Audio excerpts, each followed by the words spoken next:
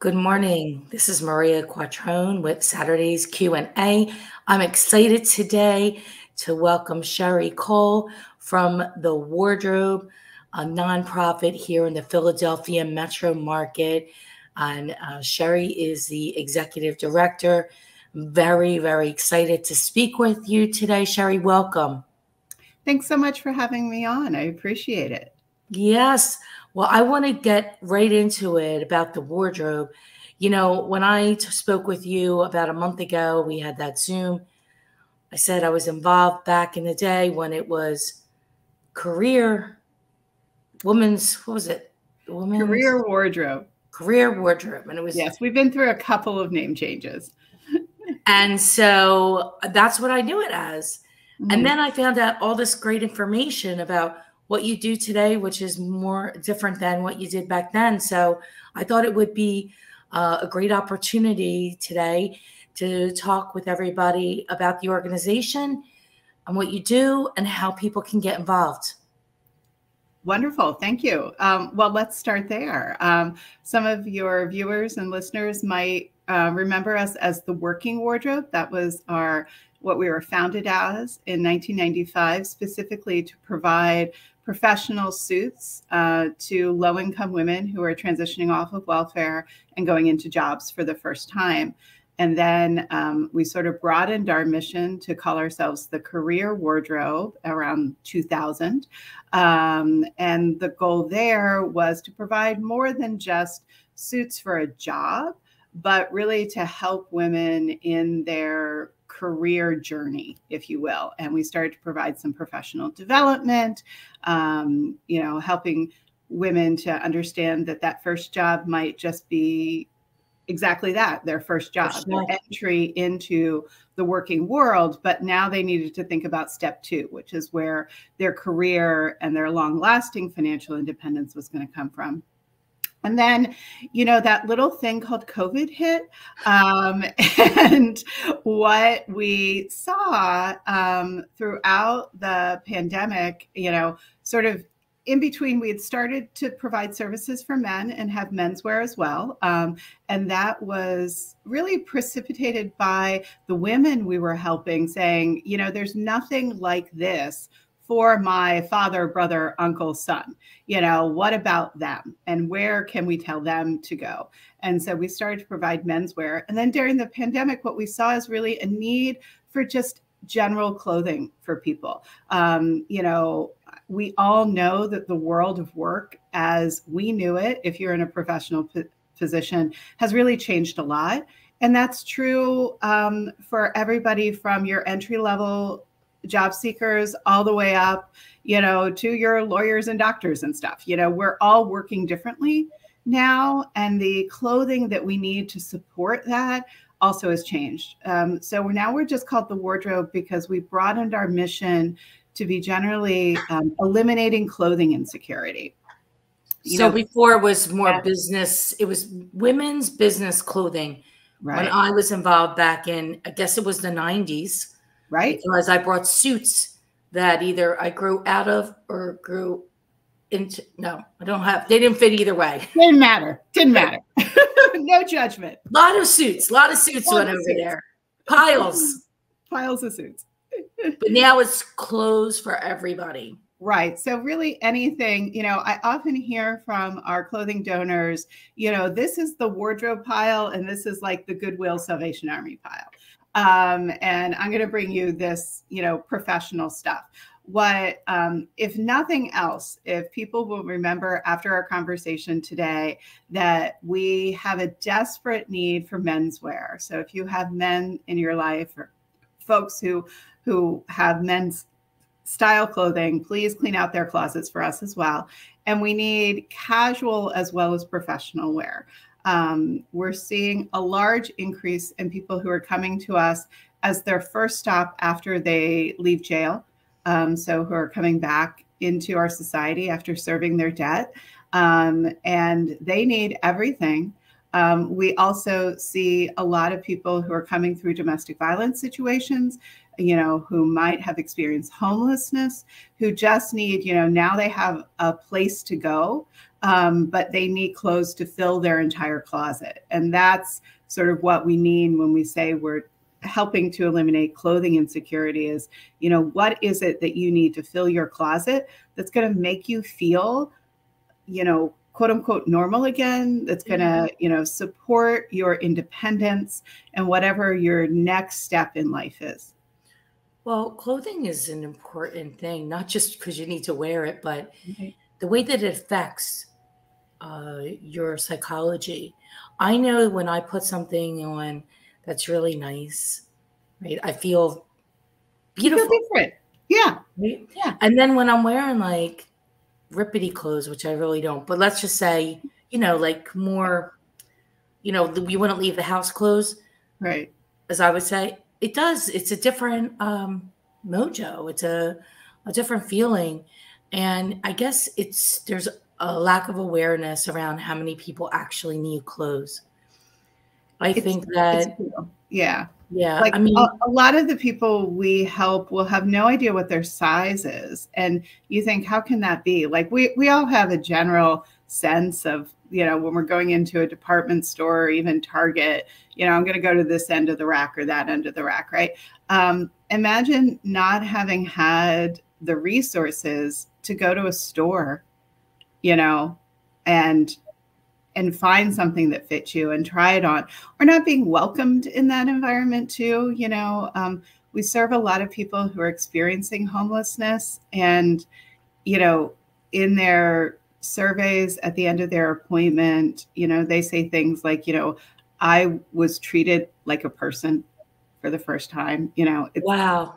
you know it's it's what we call our star treatment you know styling time advice and respect. Everybody who comes through our doors, no matter what their situation is, is greeted with that um, because we're all human. We all have a need. Um, and the need that we can provide for them is not only the clothing, but the dignity that comes from knowing you have something to pick out of your closet that's going to make you feel like yourself, whatever that might be.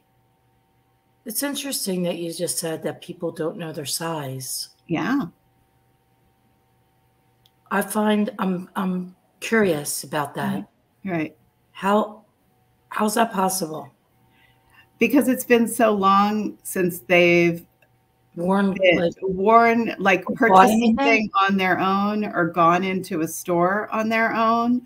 You know, um, if you think about um, it, it's it's most stark to to me when I'm helping somebody who's come out of incarceration.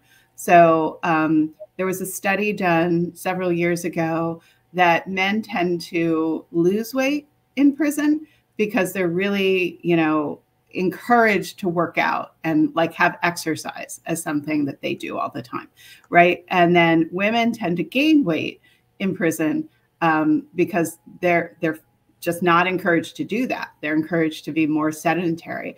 Um, and, you know, the food there isn't the best, you know, all that kind of stuff. And so when we're working with somebody who's come out of prison, they might be, well, I was, you know, a medium when I went in, but, you know, I've been wearing essentially a jumpsuit, a jumpsuit. scrubs, you know, that somebody handed me like there's been no size to. Um, and similar, if somebody's been experiencing prolonged homelessness as well, you know, they might just be, you know, given the t-shirt and that's the t-shirt they're going to wear, like whether or not it fits well. So having that styling appointment where you get to come in and, um, you know, our stores first of all, they look like stores.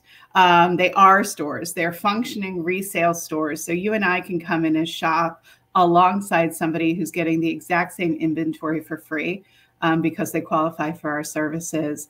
Um, and they are a high end boutique. You know, everything is well merchandised, and you you know get to pick what you want to try on. If it takes you an hour to try on, you know five different sizes and outfits until you find the one that looks great awesome we're going to help you to do that you know no no judgment and that you know with that level of customer service i i encourage people to think about, you know, if you've ever had the opportunity to go to a high-end department store, a Neiman Marcus, a Nordstrom, a, you know, someplace where people are really paying attention to you and what you need, that's the level of service that people get at the wardrobe, no matter where why they come to us. Wow, how special is that? It really is. It's it's very empowering. Um, you know, I don't use the word empower lightly, you know, because everything has to start with meeting somebody where they are yeah. um, and you know getting them then what they need um, and clothing i often think of is you know it's very essential but it's also the hook to what often will help people move to the next stage you know other life like the number of people who have come out of a dressing room and well my favorite um, sort of recent exclamation from a client was he came out of the dressing room, looked at himself, and said, I feel like Clark Kent turned into Superman. you know, like, I eh, can I wear this outfit home because I want my kids to see me in it, you know, like Uh, the number of case managers when somebody has come back to the program that sent them and said, I literally didn't recognize this person because she looked so different and carried herself so differently in her new clothes from the wardrobe. Like that's just a special thing that I think often, you know, we can take for granted. A hundred percent. You yeah. you can't put a price tag on that. No, no, and we don't, um, which is very important. Yeah, and you, and you don't, right? I would imagine that it's very difficult to get a job, to get or start a career, uh, re-entering you know, the workforce with not the proper clothing, even to go to an interview. Oh yeah. Yeah, like eh, you know, anybody who's who's listening or watching who has um, you know, hires people for entry level positions. Um, my my nephew started out um, in the McDonald's um, was a McDonald's, you know, worker when he was in high school and stayed with it and now has just been offered his first store as a GM and I think I talked to him a lot about like what he's looking for when people come in um, and apply for jobs and you think oh a job at McDonald's anyone can do that. Well anyone can't do that. You have to be able to you know take direction and work with people and be okay working with people but on top of that you need to present yourself in such a way that someone's going to take a chance on you, knowing very little about you, right? And so, even if you're walking in to pick up a job application at a place like McDonald's, you know, going in, if you're a man with a collared shirt and tie and khaki pants, makes all the difference on how somebody is going to perceive you. You know, that like five second rule that you make your judgment about somebody within the first five to three seconds of meeting them it's so true. true. It's so true. Yeah. I've, I've interviewed so many people. We have a scholarship program. And I just literally, if they weren't dressed appropriately to come into an office for an interview, they were checked off the list, right. no matter what they said. But you would, I don't know that you would be surprised. Many people might be surprised by the way people come in Mm-hmm. Uh, I don't, not sure if they're not, they don't have somebody to tell them that they shouldn't wear jeans with holes in it and yeah, shirt. Yeah, I mean We've that's that. part of it. Yeah, that that's definitely part of it. If you think about, you know, we work with a lot of families and people who we're talking about intergenerational poverty, right? Like yep. folks who you know, whose mom or dad might have been in the criminal justice system, might have, you know, lived themselves in poverty, never had quote unquote office job, a professional job. How, like thinking back on it, I use this story a lot too. How did you first learn what was appropriate um, to wear and to act in, in a, an environment? Um, I had the good fortune of having parents who were professionals. Um, neither of them went to college. I was the first person in my, you know, entire family to go to college, but you know, they didn't have that experience to give to me. but I used to work summers, you know, answering the phones at the office that my mom ran. Um, and I had this clear memory of like 10 year old Sheri thinking it would be really funny if I answered the phone by whistling instead of saying hello. Like that was going to be awesome. That was going to be a lot of fun for me. Sure, that and, went over well. And I did it. And I have never heard my father yell as much as he did the time I did that. And I learned, oh, I guess why isn't it okay to answer the phone whistling? Whistling's fun. Who doesn't like whistling? You know, um, but like those, that's a story I come back to because it's like, oh, that's how I learned to to say, oh yeah, you have to say hello. Like that's how you properly answer a phone. Like kids don't grow up knowing these things. And so yeah, they see what their peers wear and get away with, maybe their teachers wear and get away with. And those are the styles of the day. And there's been no one to really tell them, no, this is this is what you want to wear when you want to present yourself in a different way. Um, I, I often, think it's no, go ahead.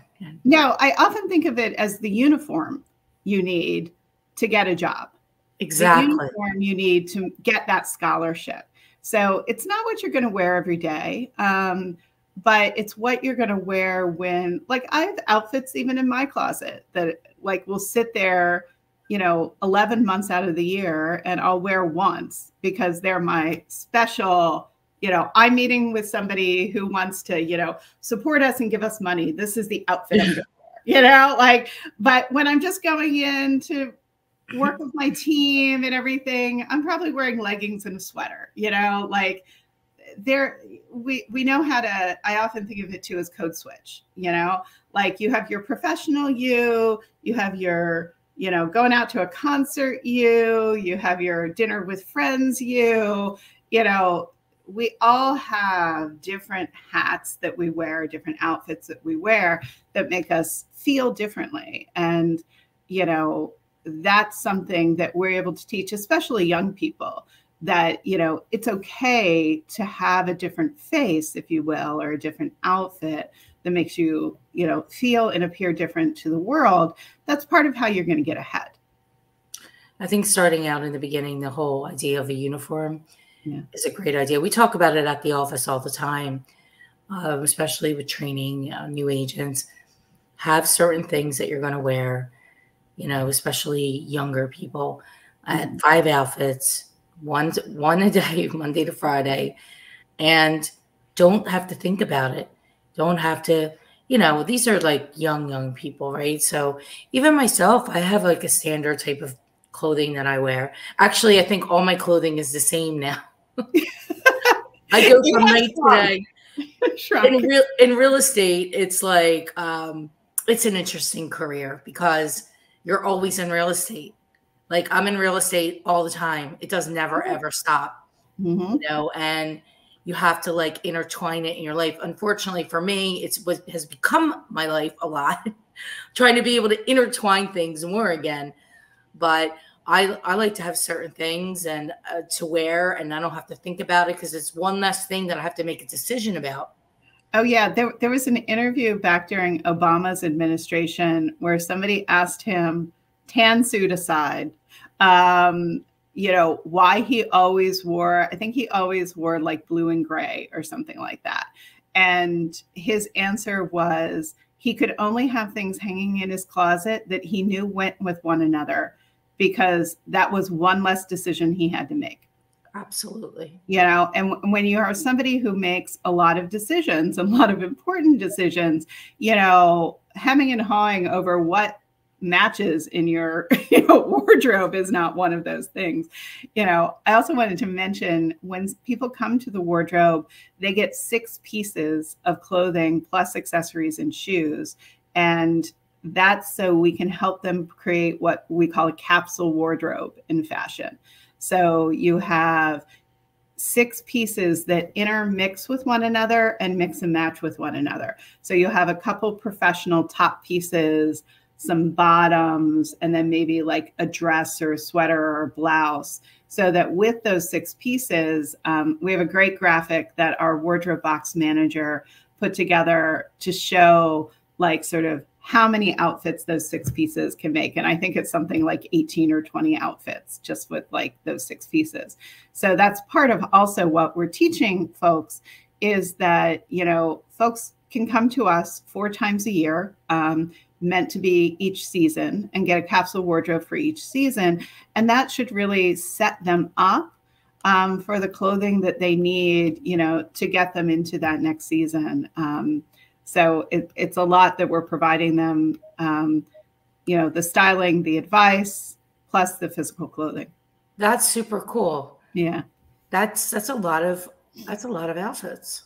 It is. It's it's amazing. Um, I like I am not the fashionista on staff, so um, but when they told me, you know, these these six pieces, we we actually did a training for staff um, where everybody had to pick six outfit or six pieces and then figure out how many outfits they could make. And I was just amazed because I'm your basic black, gray, you know, like very little color in my wardrobe because I know they'll all go together um, kind of person. But they were picking these wild prints, and I was like, no, there's no way you're going to make that work. And, you know, darn if they didn't.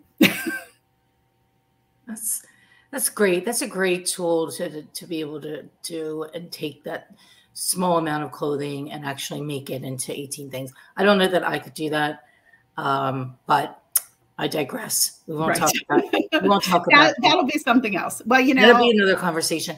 Yeah. So tell me, um, what the wardrobe? I know the wardrobe is lacking in men's mm-hmm. clothing, all men's clothing. Right. Um, and and you have there are how many locations now? Five. Five. Uh, yeah, we have. I have to count them in my head. Uh, six actually. Yeah. Okay, so yeah. Which does any one particular location need more than other? Do you have a hub? Right. Philadelphia really acts as our hub. It's our largest location um, and has the most storage. So really, we we take most of our inventory in Philadelphia. Um, Delaware County, uh, we're in Upper Darby uh, and Lansdowne. We're sort of on the dividing line there. And then in Chester County, we have a site in Exton and Kennett Square um, under the name Wings for Success. They're our partner in Chester County. Um, so those are the four donations where we, or places where we accept donations. You can find them all on our website, wardrobepa.org. Um, and so any inventory or any donations that come into those sites get sorted for what we need as a whole and then we're able to kind of move it to the location like if but generally all of our locations need the same type of clothing um, so we, we do some transporting around um, but not really as much as you might imagine um, yeah and then anything that we can't use we work with a recycling partner um, who ethically recycles it. So either, you know, if it really has no usable value anymore, um, think of your used socks, you know, other things that find their way into the donation bag that maybe you didn't expect to be in that donation bag, but it ended up there anyway, um, are turned into rags. But then other things are bundled together and sold to resellers or other thrift stores who can use them. Um, and so that partner, um, so know that anything that you donate to us is not going to end up in the trash. Even if we can't use it, we are passing it on to somebody else who can. That's excellent. You know, I was just thinking while we are talking, I would love to do a clothing drive uh, for the wardrobe and perhaps like the early spring, maybe like March, and we can be a donation site to collect them and then bring them all over to you. Oh, we would love that. Yeah, we we have a whole um, package that we can send over to anybody who would like to run a drive. You know, if you have even one site, but if you have multiple sites, if you have the public coming in, you know, we can give you some signage and some bins that you can collect things in. Um, you know, the the one issue that we have um, is that we don't offer a pickup service um, because we don't. We have, have tr- we have trucks. Yay, truck. We'll, we'll, kindly drop it off, no problem. You know, we just did a, a drive Toys for Tots, uh-huh. and you know, we sent it out through marketing and everything. So some people came by who saw that. But a lot of the donations that we got were from neighbors because we had the sign in the window and the right. box there. Mm-hmm. And tons of people just came in and dropped a toy and they saw it, saw a sign. That's awesome. well. I, I sometimes think that I can spend my entire day just responding to Facebook posts about what do I do with my clothes. I have clothes, where do I take them? And you know, I can just like cut and paste the wardrobe information in everyone. So I think, you know, any place where we can get the word out that like if you have extra clothes, especially if it's convenient for people, it's in people's neighborhoods, you know, I you know, convenience is everything because I have had before clothing and then you have to take it to uh someplace and they're only open at this time and i don't yeah. remember what happened with it but oh then they were supposed to pick it up and nobody picked it up and anyway. Yeah, yeah. I, I, do think like if you're it's hard for for charities especially if they're smaller to yeah, really no have that. Um so, so so we try and make it very easy. Um, our sites are open monday through saturday 11 to 6 and you can literally bring your donations in anytime we're open. Um, you know we even have our tax receipt online. Um, so after you even before you drop them off you can fill out the tax receipt if you need that. Um, and yeah we try and make it really easy. You know the only thing we can't offer is you know pick up close to our locations. Our recycling partner helps you though if people are watching this in Montgomery County, in some of the areas in Chester County, um, Bucks County, they will pick up um, for recycling.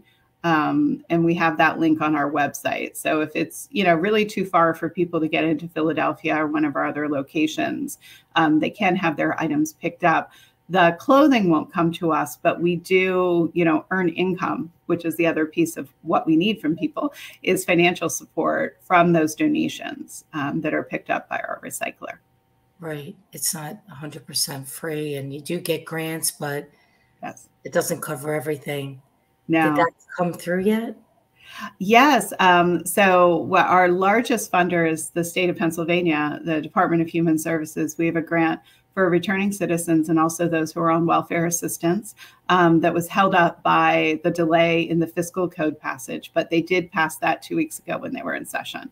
So that has um, been. Um, we, we still don't have any funding coming in through it. So, you know, we're still waiting. Um, but that grant will be offered to us again this year. So that was very exciting. That was a very harrowing few months. I'm sure. I'm yeah. sure. That's yeah. great news, Sheri. Yes yes, it, it was a good Christmas present for us. We were very happy. Yeah, I think that having uh, this discussion with you today is at a perfect time with Christmas Eve tomorrow, Christmas Day, mm-hmm. and you know, I've been I've I got an email from a colleague who works at a bank, and it was wishing you know happy holiday, something he's sent out to everybody, mm-hmm. but it really brought things into perspective of how fortunate, you know, if you have a home and you have some money in the bank and some money in your wallet, um, and you have, you know, pretty good health and just broke all these things down. And it, it really gives perspective of how much, you know, we really do have. And I believe as uh, being a good human that we should be all in contribution and giving back you know, as much as we can. Um, that's all part of it. So I'm very happy to um, offer up doing this drive. I think it will be great. I think we'll get some neighborhood people. It'll give my husband and I, too, selfishly, a chance to get rid of all of our stuff that either you know we are tired of or doesn't fit anymore.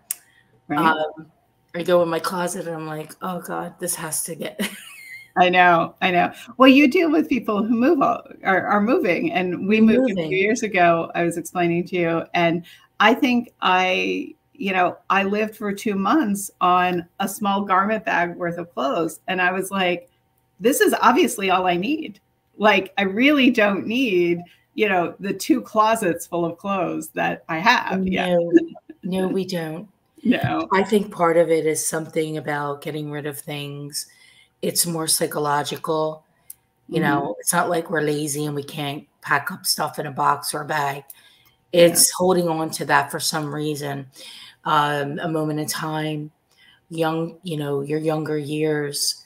Mm-hmm. Um, yeah, we're very attached to our clothes. You know, we often will hear from people when they drop them off, you know, they want to tell us the story of their clothes, which is great. You know, they've they've really taken care and everything to it. We we had a donor once who was like, she had everything together, like and pinned to it were little baggies with like these are the earrings I wear with this suit, and here is the thing.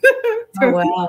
You know, very particular, and I felt and so bad knowing that we were just going to pull it all apart. You know, um, that that whole outfit was not going to a person like um, as she wanted it, but it was great care that she took in giving that to us. Wow.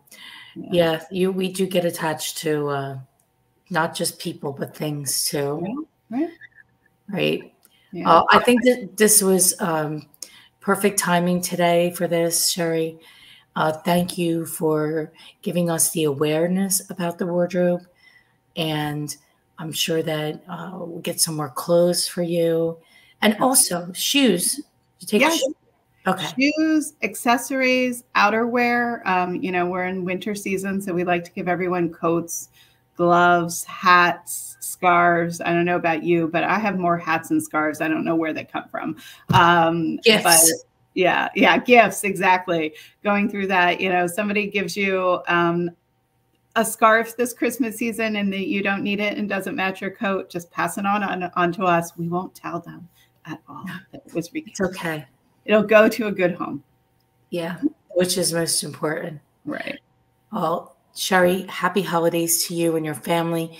Thank you so much for coming on today and um, sharing about the wardrobe. And I'm sure we will see you. We'll have you on again uh, soon, sometime next year, to touch base on how we did after this wardrobe drive. And we'll talk. Love that. Yeah, and we'll talk about that more in a few weeks. Wonderful. Thanks All so right. much. Thank you. Have a great one. All right. Bye bye.